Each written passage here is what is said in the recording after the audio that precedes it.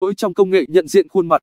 Hệ thống nhận diện khuôn mặt có nguy cơ đưa ra những kết quả hoàn toàn không chính xác, đặc biệt đối với những người da màu. Đây là kết quả một nghiên cứu của Viện Tiêu chuẩn và Kỹ thuật Quốc gia Mỹ công bố ngày 19 tháng 12.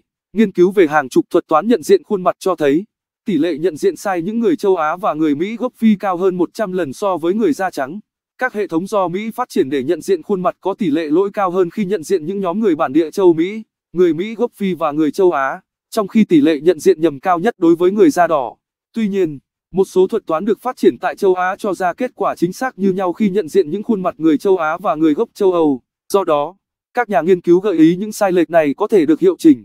Ngoài ra, các nhà nghiên cứu cũng phát hiện hai thuật toán xác định sai giới tính của phụ nữ da màu gần 35% thời gian. Nghiên cứu trên được công bố trong bối cảnh hệ thống nhận diện khuôn mặt được triển khai rộng rãi tại nhiều sân bay, khu vực biên giới, ngân hàng, trường học và cả trong công nghệ riêng tư như mở khóa điện thoại thông minh. Một số nhà hoạt động và nghiên cứu cho rằng hệ thống tiên tiến này có nguy cơ nhận diện nhầm, dẫn đến bắt giam người vô tội và cơ sở dữ liệu của hệ thống có thể bị truy cập trái phép, hoặc bị sử dụng vào mục đích phi pháp.